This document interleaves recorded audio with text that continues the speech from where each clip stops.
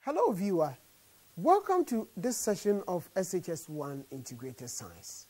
I am your presenter Edward Asante Ekufu. In this lesson, we will be using the scientific method in a controlled experiment. This is an activity-based lesson.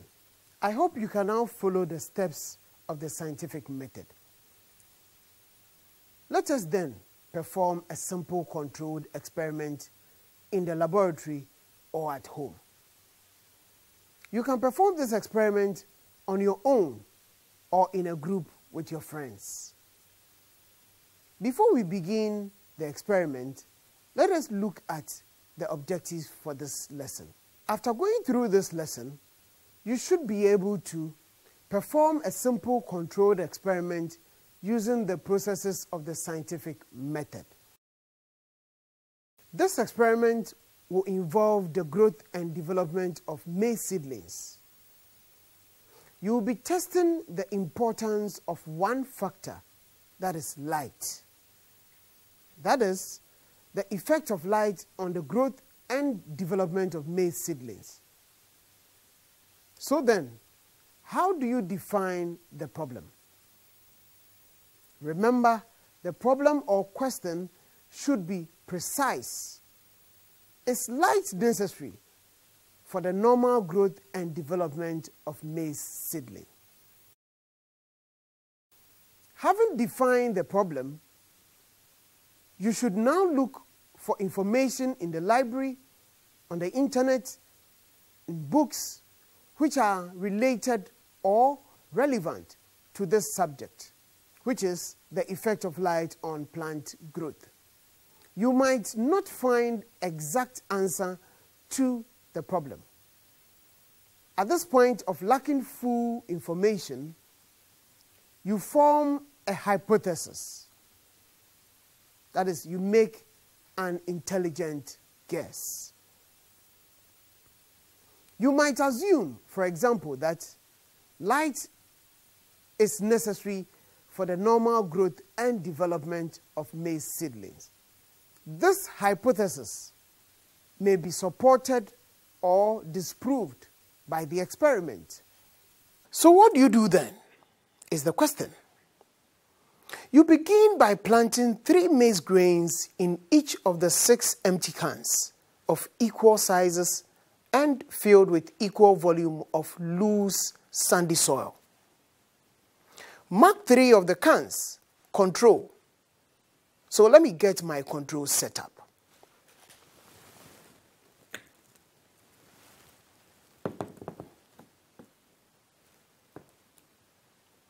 So I have my first set of beakers marked control. Now let's plant the maize in the control setup. So let's get the maize. So I have my maize right here. As you can see, we're supposed to plant three maize grains each in each setup.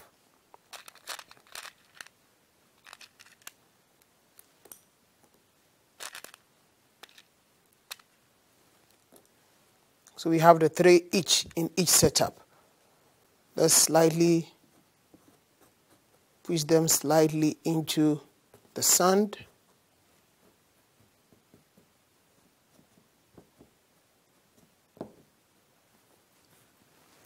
Now let's get some water and water them. And to ensure all conditions are uniform, we're going to make sure we have equal volume of water administered to each of the setups.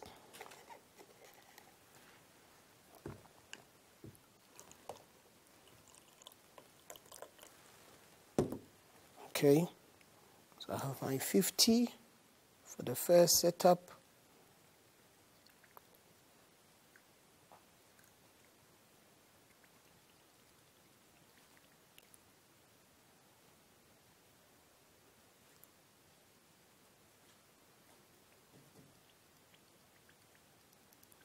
Good.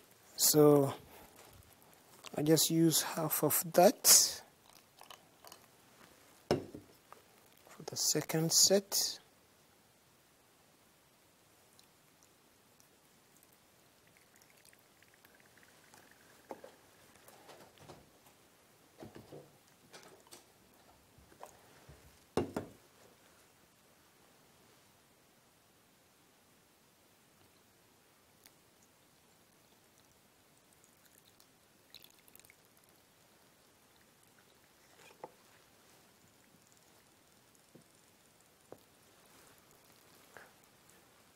Now, for the first set, which is made up of the control, we're supposed to keep them in a dark room. So let me get my dark room. So I have with me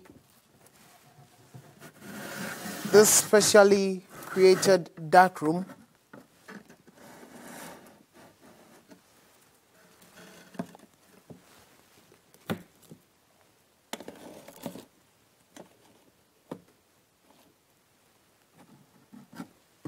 Now, in place of this kind of setup, you can choose to use a dark cupboard at home.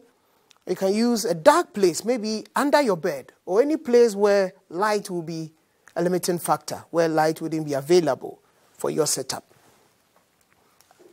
After conducting this, we're supposed to take the next set of beakers and label them as experimental. So let's get our experimental set. So I have the next set labeled experimental. And for that also, we're going to plant three maize grains each in each of them. And you need to make sure the maize grains are viable seeds. That is seeds that are not damaged in any way.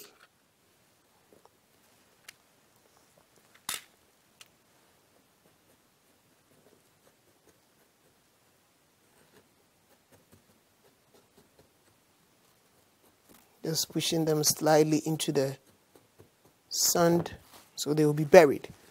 We also ensure we administer equal volume of water on this setup also.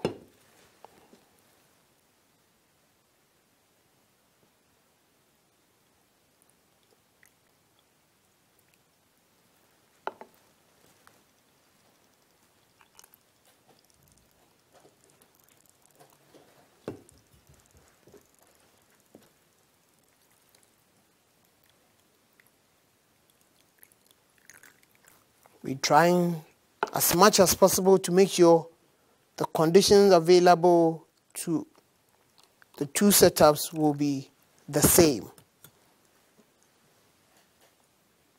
The only factor we want to vary is the availability of light when the seeds germinate.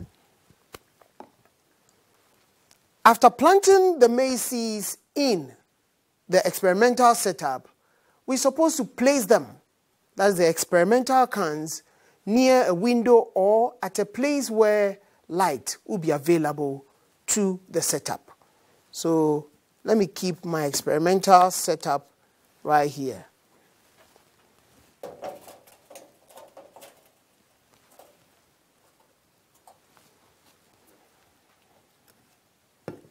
Now at this point, make sure the temperature is nearly the same as possible for both sets of plants.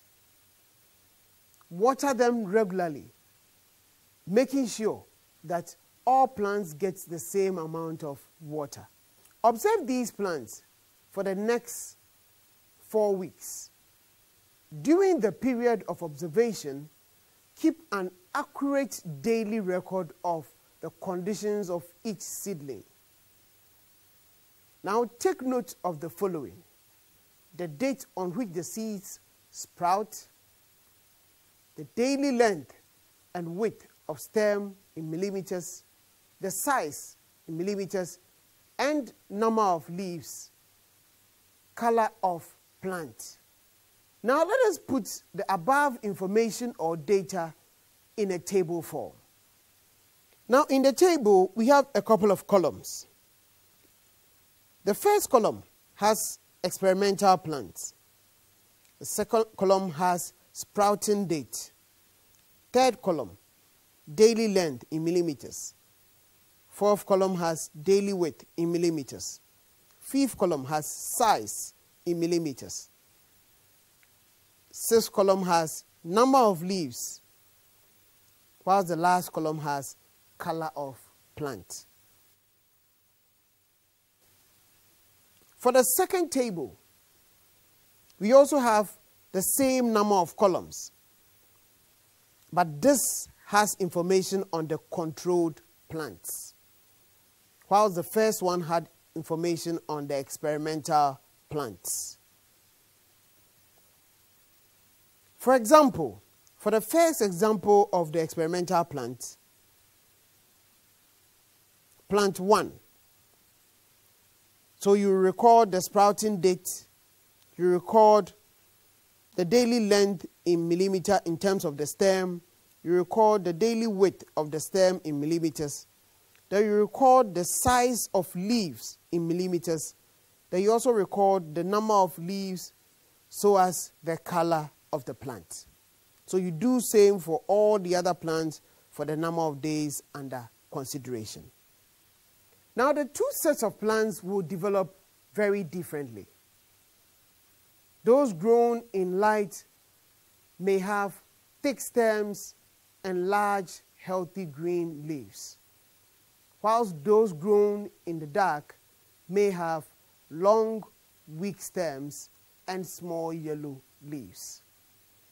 These results could give strong support for the hypothesis that light is necessary for the normal growth and development of maize seedlings. Remember that any control experiment must account for all factors with one single variable. In this experiment, light was the only factor that varied for the two sets of plants. If any other factor had been varied, our conclusion would have not been valid. For instance, if the dark set had been planted in a different kind of soil, you could not have known whether their poor growth was caused by the lack of light or by the poor soil. Now, in summary, we have looked at how to use the scientific method in a controlled experiment. I believe you have understood the concept of control experiment after going through this lesson. Try your hands on an experiment at home and send me your feedback. That is your recordings, observation, and conclusion. All too soon, our time is up, but I believe we have learned